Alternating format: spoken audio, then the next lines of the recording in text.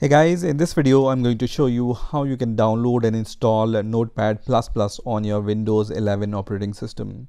So those of you who don't know what is Notepad++, Notepad++ is a very powerful editor which is better than your Windows Notepad obviously and Notepad++ can also be used as an editor for many programming language if you want to write some code in some programming language Notepad++ allows you to do that also. And it has many cool features which makes it very powerful and useful right? So let's see how we can download it.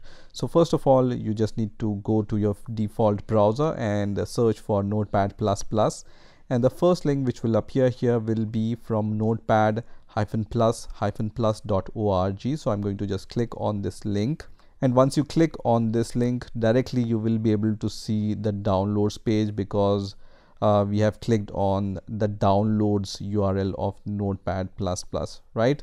If you are on the home page of notepad++ you can uh, just click on this current version option and then you can uh, come to the download page of the current version or you can click on the downloads uh, option here and you will be able to see all the previous uh, releases also. So if you want to uh, download the previous version then you can do it from this page. So i'm going to download the latest version which is at the top. So just click on the top option. And here you have two options. First one is to download the 32 bit version or the second option is to download the 64-bit version. So for Windows 11, we are going to download the 64-bit installer. So just click on the first option here which says installer. And once you click on this option, you will see that the download of this notepad++ plus exe file will start. So just click on this exe file and then minimize your browser. So first of all, you will see this warning. Just click on yes here and then the installation of notepad++ will start. So first of all choose the language in which you want to install notepad++ I will choose English here and then click on OK. And then you will see the next window here. So just click on the next option and then you will see this setup window here. So just click on next button. And then uh, if you agree with this license terms and conditions just click on I agree and this will be the default location where your uh, notepad++ will be installed. So if you don't have the good reason to change this location just leave it as default and then click on next. And then uh, you just need to click on next. And then uh, you can just check this checkbox which will allow notepad++ to create a desktop shortcut on your desktop right?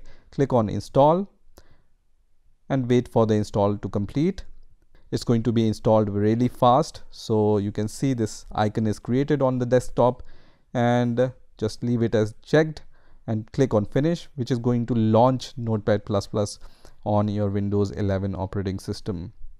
You can see notepad++ has been started. So now you can start using notepad++ if you want to create a new file you can click on this icon or you can just click on this icon. If you want to open some folder. You can also do that from here. If you want to save the files you have all these options here. You have the support for uh, different programming languages here you can see and you can choose them alphabetically. So for example i'm searching for python.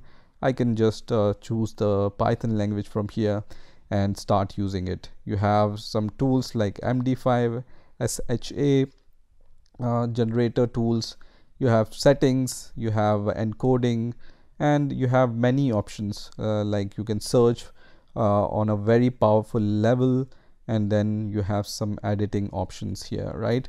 So it's a very powerful tool and I will highly recommend it.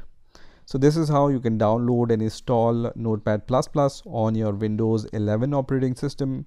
I hope you've enjoyed this video and I will see you in the next video